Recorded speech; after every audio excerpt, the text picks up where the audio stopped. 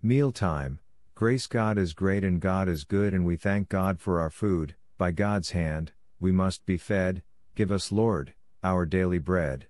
Amen. Your beautiful food, Lord.